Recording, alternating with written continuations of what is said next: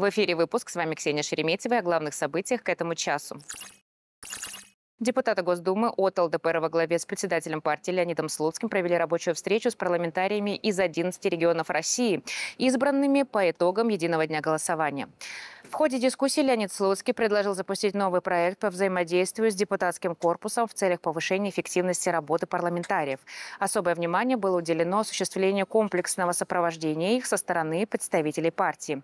Напомню, в результате единого дня голосования кандидаты от ЛДПР получили более тысячи мест органах муниципального самоуправления. А это в два раза больше, чем в 2019 году. Выборы всех уровней в единый день голосования 2024 года прошли успешно для ЛДПР. Мы получили два мандата на выборах в Московскую городскую думу.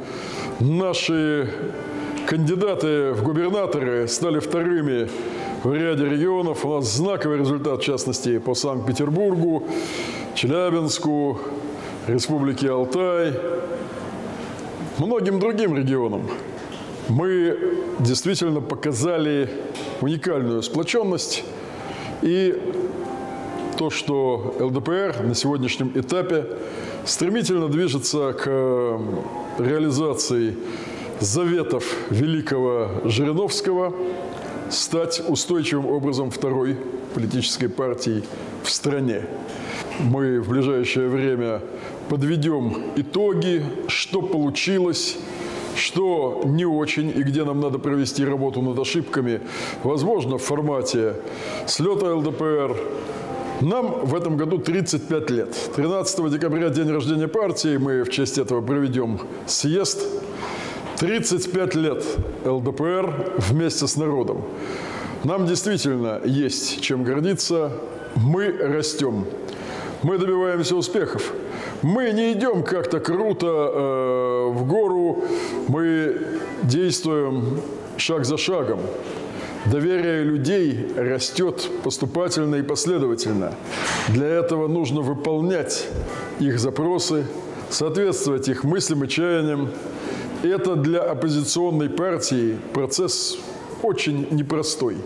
Сейчас мы действительно успешно провели успешнее, чем предполагалось, кампанию 2024.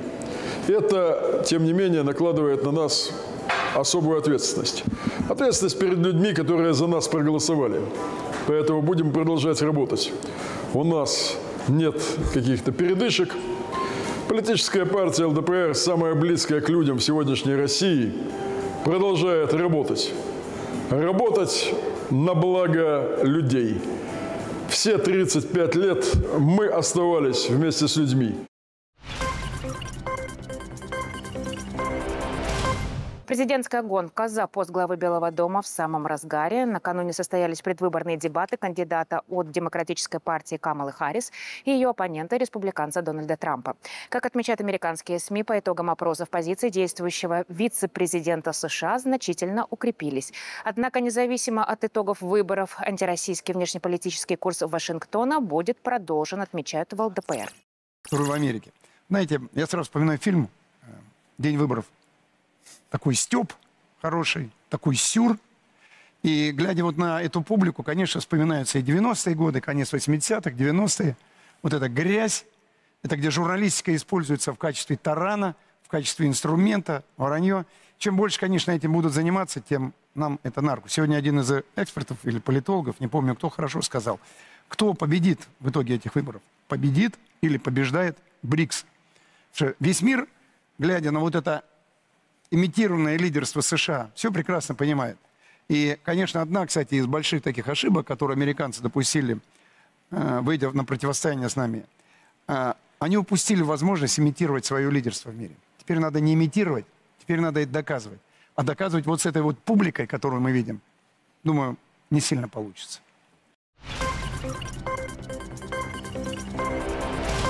Накануне состоялось очередное заседание экспертного совета при Комитете Госдумы по науке и высшему образованию. В ходе рабочей дискуссии участники обсудили вопросы развития международного сотрудничества стран-участниц БРИКС. В частности, парламентарии уделили особое внимание необходимости создания независимого и честного рейтинга университетов. Как известно, ряд российских вузов, входивших ранее в топ-100 образовательных учреждений мира после 2022 года, выбыли из этого списка. Прошло заседание экспертного совета по вопросам международного сотрудничества в сфере науки, высшего образования и э, новых технологий при Комитете Государственной Думы по науке и высшему образованию. Э, заседание крайне важное. На нем обсуждались важнейшие вопросы, связанные а. с э, рейтингом, международным рейтингом, который планируется сформировать в странах БРИКС. Эта идея была озвучена министрами образования стран БРИКС на встрече в Казани. То есть она получила право на жизнь. И, кстати, перед этим она прозвучала так же, как решение на таком же заседании экспертного совета здесь, в Москве, в нашем парламенте, на нашем заседании совета. Соответственно, следующий этап – это обсуждение уже деталей. Вот сегодня мы договорились о том, что очередное э, вот, принятие решения – на этом заседании Совета будет доведено также до всех соответствующих инстанций. Сегодня мы обсуждали основные принципы, основные миссии этого рейтинга и, конечно же, обсуждали вопросы критериев рейтинга. Почему нам это крайне важно? Потому что, к сожалению, сейчас ведущие российские вузы стали проседать в международных рейтингах в связи с тем, что они находятся в руках недружественных нам стран. Поэтому очень важно, причем не только для нашей страны, для в целом стран БРИКС, чтобы это был абсолютно объективный, абсолютно честный рейтинг, который показывает статус каждого университета э, в мировой линейке. Почему это важно для наших вузов? Потому что крайне важно, чтобы э, по так как по поручению президента развивалось научное сотрудничество, международное научное сотрудничество в целом в рамках БРИКС. Потому что крайне важна для наших вузов академическая мобильность, то есть перемещение иностранных студентов э, в российские вузы с целью обучения. Это и есть как раз гуманитарная, часть гуманитарной политики. А такую задачу поставил нам президент. Расширение гуманитарной политики. Потому что с экономикой все понятно, с политикой понятно, а вот с гуманитарной сферой Э, необходимы максимальные усилия для того, чтобы вот эта дружба между нашими странами развивалась и в этой сфере максимально быстрыми шагами. Следующий вопрос, который мы рассматриваем на экспертном совете, это так называемая наукометрия. Что это такое? это возможность получения научной информации, возможность публикации наших ученых э, в журналах, в научных изданиях, получение информации из этих научных изданий. Опять же, наша ситуация, наши ученые сейчас находятся в такой стране, исходя из санкций, которые были введены, что получить доступ к научной информации, напечатать статью для получения научного звания, для того, чтобы иметь доступ к различным библиотекам мирового уровня, я подчеркиваю, это в образовательной научной сфере невозможно. И становится ситуация все хуже и хуже. Почему это происходит? Конечно, это неправильно, потому что нас зажимают в тиски. Что для этого надо делать? Надо также развивать на территории стран БРИКС э, свои периодические издания, свою систему вот, научных изданий для того, чтобы ученые, преподаватели стран БРИКС имели свободный доступ к общению, к получению информации. И мы можем сделать это только совместными усилиями.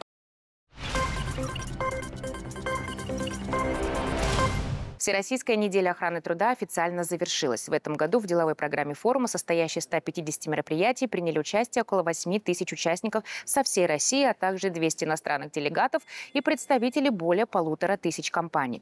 Особое внимание организаторы форума уделили обсуждению вопросов внедрения превентивной модели обеспечения безопасности работников. Говоря про активность работодателей, про последствия негативного психологического климата на работе, а это тоже, я считаю, что в рамках охраны труда надо рассматривать. Не могу не напомнить те предложения, которые сегодня прозвучали и активно обсуждаются. Один законопроект внесен в Государственную Думу, напрямую он не связан с охраной труда, он связан с семейными отношениями. Это вопрос определенной психологической помощи перед бракоразводным процессом. На мой взгляд, конечно, это все такой очень сомнительный механизм, как он будет работать, я не знаю, но вот о том, чтобы оказывать в случае необходимости психологическую помощь сотрудникам и целым коллективом вот об этом вопросе подумать нужно. Мы часто стали получать в последнее время, особенно после ковида, письма в комитет, где речь идет о том, что у работника проблемы с начальником, его выживают, выживают, выживают, не дают работать, придираются, заставляют написать заявление, либо нездоровый психологический климат в коллективе приводит к тому, что работник вынужден писать заявление, уходить в отпуск за свой счет и искать работу, обращаясь в наш комитет, пытаясь э, у нас найти поддержку для того, чтобы была предоставлена новая новая вакансия, новое рабочее место. Поэтому об этом тоже нужно э, думать, о психологическом климате. Э, и таким образом мы будем приходить к тем национальным целям, о которых говорил президент. Народосбережение, продолжительность жизни, демография, качество жизни. Все эти вопросы взаимосвязаны. В особом фокусе ЛДПР сегодня поддержка военных корреспондентов, работающих в зоне специальной военной операции. Еще в прошлом году председатель партии Леонид Слуцкий дал старт проекту «Школа молодого военкора», которая сегодня носит имя погибшего военного корреспондента и одного из основателей Бориса Максудова. Во втором сезоне приняли участие около 100 отобранных экспертами человек из разных регионов страны. Выпускники уже сняли свои первые сюжеты. Накануне ЛДПР объявила о запуске нового нового сезона данного проекта. Подробности у корреспондента Изабеллы Либерман специально для ЛДПР ТВ. Мы открываем новый сезон школы военкоров имени Бориса Максудова. Борис был настоящим военным журналистом. Он снимал репортажи о людях, живущих в условиях боевых действий. Киевский район Донецка стоило ожидать, что именно сегодня в праздничный день очередная ракетная атака будет вероятность появления сейчас дрона очень велика. Борис – это пример настоящего профессионала, которым может стать каждый из вас.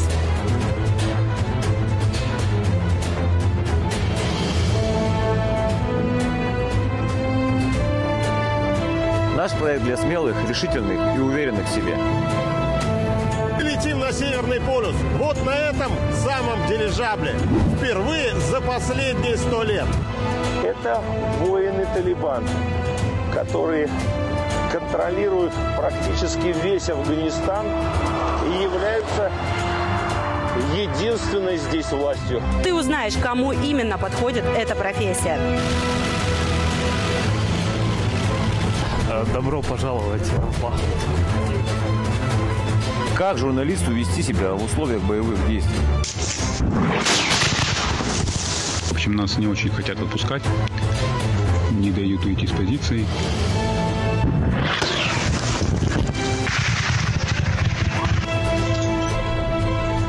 Северодонецке сорван выход мирных людей с территории комбината. Э, сработал дрон-детектор на ФПВ, может, конечно, какая-то там помеха сработала, хотя какая непонятная. Самое важное, на мой взгляд, это то, как мы воспринимаем, что здесь происходит. Комментарий на камеру. Ну что, пятый день в подвале. Вот такое вот дрожащее грязное чудо. Вот, а, парни-десантики здесь нашли. Звезды военной журналистики, документалисты, фотографы, видеооператоры поделятся своим уникальным опытом. Катим, катим по джунглям на смешных мопедках. Ну как тебе в Артемовске? Ты когда последний раз был Здесь я был еще до 2014 года. В Ленинграде должно было выглядеть ну, как-то так. Летают снаряды, стрелка дня. Есть одна война, которая происходит, и военные действия на территории, то есть на земле, а есть война, которая происходит в интернете. В финале обучения все студенты получат документы об образовании, а самые лучшие из вас – ценные призы и возможность пройти очную подготовку на полигоне и стажировку на Донбассе. Регистрируйся прямо сейчас на нашем сайте или телеграм-канале. Подписывайся на наши группы в соцсетях.